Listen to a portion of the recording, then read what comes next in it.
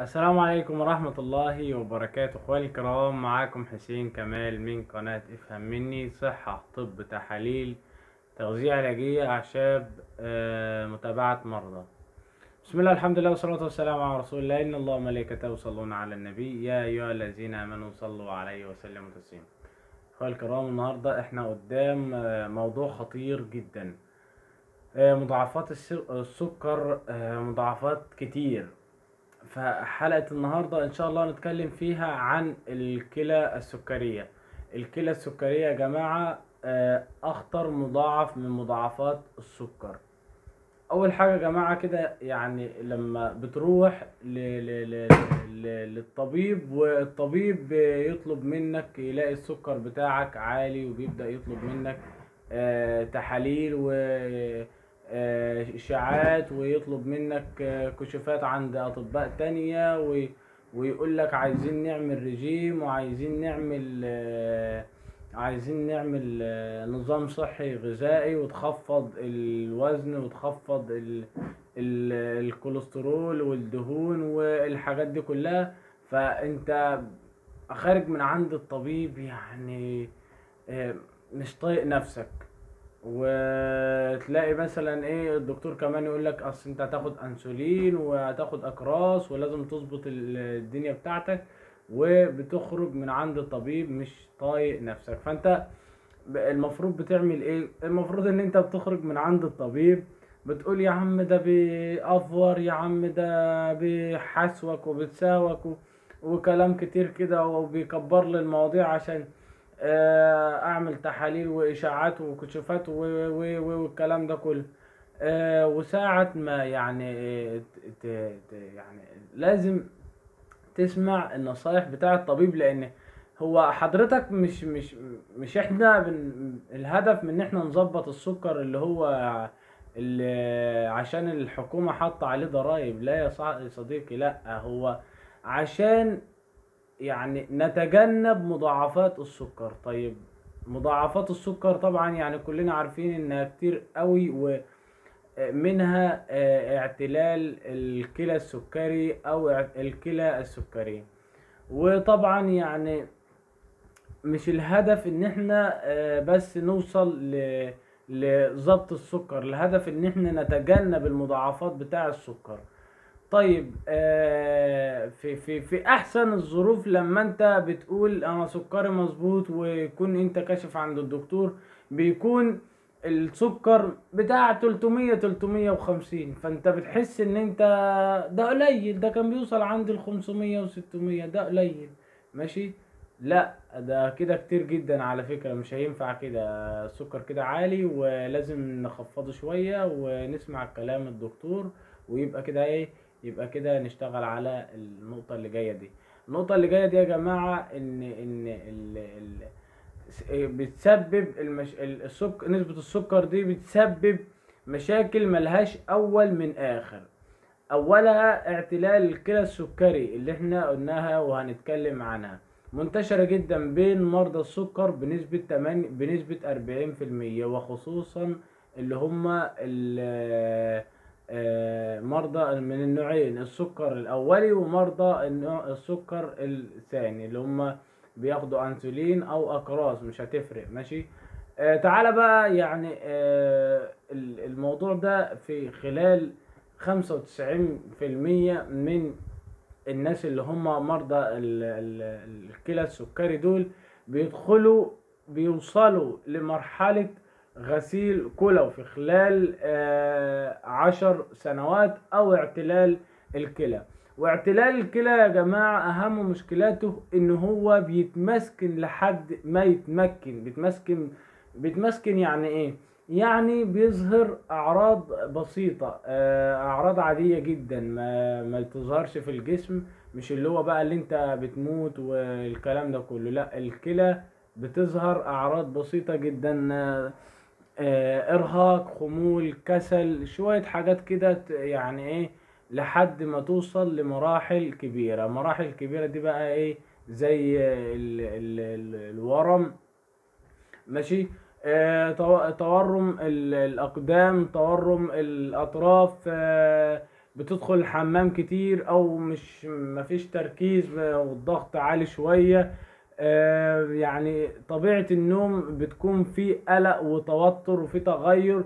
كل الحاجات دي العيان بي بي بيرجع عادي. بيقول إن هي يعني بترجع على السكر وليس الكلى السكرية الإرهاق والضغط العصبي والنفسي وزيادة الوزن ما يخطرش في باله إنها ممكن تكون بداية لارتفاع وظائف الكلى.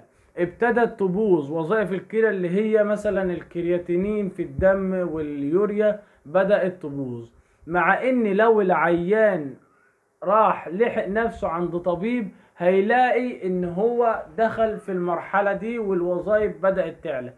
والطبيب بيعرف ده من خلال التشخيص بالإشاعة والتحاليل الطبية والتشخيص بتاع الطبيب. ماشي؟ هقول لكم على حكاية كده يا جماعة كان في بسيطة أوي. كان في حد جاي عندي يعمل تحليل سكر عشوائي. المهم جايب لي التحليل وجاي جاي تعبان بقى شايلينه أربعة اتنين فوق واتنين تحت وشايلينه مورم كله في بعضه. السكر كام؟ مش هتتخيل. يعني أشطر معمل في المنطقة اللي إحنا فيها معمل شاطر جدا. آه مطلع السكر 800 كاتب 800 وكاتب في ال report تحت إن هو في البلا في ال في, ال في ال urine آه، أحماض كيتونية آه، الاسيتون طالع في ال urine عالي جدا السكر طالع في البول ع- يعني عالي جدا جدا. ماشي؟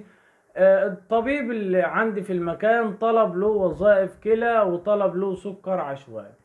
فأنا إزاي استغربت 800 ده سكر يعني عالي جدا. فالمهم رحت عامل التحليل طلع معايا 650 السكر عشان طبعا هو كان كاشف عند ثلاث أطباء قبل ما يجي عند الطبيب اللي عندنا ده وبياخد أنسولين وبياخد علاج. آه، الطبيب بقى لما طلب وظائف كلى لقينا وظائف الكلى إيه؟ عالية. لقينا الكرياتينين كام؟ لقينا الكرياتينين 8 ولقينا اليو ال ال اليوريا حوالي خمسة وتمانين. ف يعني الحاجات دي عالية. دي سموم في الجسم يا جماعة. ده دليل على إن وظائف الكلى متدمرة. فاللي هو يعني أنت ساكت على نفسك لحد دلوقتي ليه؟ وبعد كده بقى يظهر العيان آه تعالوا بقى نرجع تاني لل... للرجوع بتاعنا اللي هو آه لما أنا طبعا الأعراض البسيطة دي بتظهر عندي فبرجع بقول إيه حاجات بسيطة. ولكن أنت لو رحت عند الدكتور أو الطبيب هيقول لك إن دي وظائف الكلى بتعلى منك ولازم تعمل متابعة على الكلى. أنت كمريض سكر لازم تعمل متابعة على الكلى. فاللي هو بقى إيه أنت بتشوف إن الأعراض بسيطة وما بتسألش. طيب ويبدأ بقى بتلاقي بقى الف... ال... ال... الدهشة والمفاجأة بتظهر. إيه هي؟ إن حضرتك بتلاقي سكرك اتظبط ما شاء الله السكر اتظبط ويلاقي إن البرشام ملهوش لازمة ويلاقي إن جرعة الأنسولين ملهاش لازمة ومش نافعة والكلام ده كله. دلوقتي بقى لما بياخد بي... بي... بياخد عفوا. لما بياخد الكبسول أو بياخد الأنسولين بيلاقي ان السكر اتخفض فبيروح واخد من نفسه جرعة سكر بيروح واخد بيغير من نفسه جرعة الأنسولين بيروح من نفسه موقف ال- الأدوية والعلاج ويقول لك إيه السكر اتظبط عندي من غير ما يرجع للطبيب. فطبعا إيه الراجل يقول لك أصل أنا السكر اتظبط عندي من الوصفة بتاع حسين. السكر اتظبط عندي من آه، وصفة بتاع حد. السكر اتظبط عندي عند الطبيب كذا. وهو يعني ما يعرفش إن سكره عالي جدا في الجسم. فجأة فجأة المريض السكر اللي كان سكره 400 تلاقيه بيدخل في غيبوبة سكر. غيبوبة نقص سكر 60 أو أو 65 مثلا. وعايز ياخد نسبة سكر ويفصل شحن ومش عارف إيه. لا ده الكلى هي اللي فصلت الشحن وانقطعت عن العمل تماما وتلاقي فجأة برضو وظائف الكلى علت معاها وبتلاقي كمان يعني يا ريت وظائف الكلى بس لا ده السموم كلها بتعلى معاها اليوريا والكرياتينين والصوديوم وإلى آخره. طيب والضغط كمان بيعلى والجسم بيورم وبيحصل له استسقاء في كل حتة ومشاكل كتير جدا بتحصل للجسم. طيب المريض يبقى عامل زي الساعة الرملية اللي بمعنى الساعة الرملية ده يا جماعة انت لما بتروح تنام في شوية رملة كده على أي جنب تقوم تلاقي الجنب إيه؟ وارم. الجنب بتاع الرملة وارم. فهو انت نفس الكلام لما بتنام على أي جنب من جنوبك بتقوم إيه؟ تلاقي جنبك وارم. فهو يبقى عامل زي الساعة الرملية والعيان بقى يدوخ ويرجع ويلاقي جسمه كله وارم ونفسه تسد عن الأكل وشهيته زي الزفت ومتدمرة ومش قادر يقوم من السرير وده بنسميه اعتلال الكلى السكري أو بيدخل في الفشل الكلوي ويبقى ملوش إلا غسيل الكلى وزرع الكلى عافانا وعافاكم الله. فيا إخواني الكرام يعني لازم آه تاخدوا بالكم من سكركم. لازم تنظموا سكركم. هتنظموا سكركم بقى إزاي؟ ما ينفعش تكون مريض سكر ووزنك زايد. ما ينفعش تكون مريض سكر ووزنك كل يوم بيزيد وأنت لسه مش مش مظبط آه أكلك ونظام صحي النظام النظام الصحي بتاعك وما ينفعش تكون مريض سكر وعمال تشرب في عصاير وتاكل في أكل من من السوبر ماركت وعمال وعمال تاكل في كل الحاجات دي.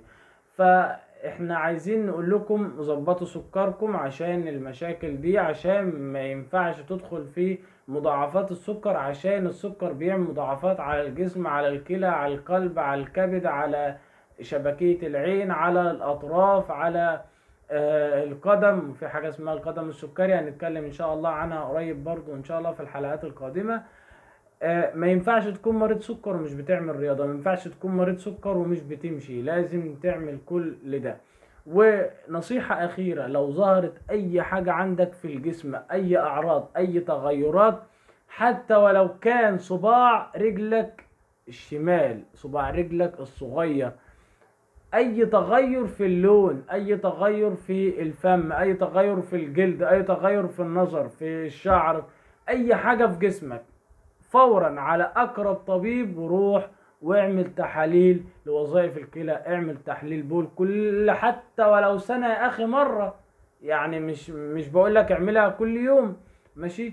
علشان لو في مشكلة نلحقها اولا بأول ونقدر نوقفها. ما تخليش الدنيا عندك سبهلله ما تخليهاش طميحي ما تخليهاش كده يعني إيه بالبركة. يعني ماشي البركة يعني كويسة والبركة حاجة حلوة. ولكن البركة يا جماعة مش في كل حاجة.